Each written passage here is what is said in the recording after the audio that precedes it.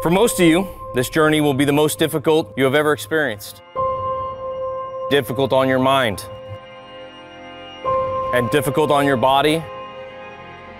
I really want to make it through and prove to myself that I can be a CHP officer. We will challenge you. Let's go! Get over that wall! Let's go! We will not accept excuses. We do this because we want you to succeed. We do this to acclimate you to people challenging you, testing you. We are on this journey with you, and your success is our success.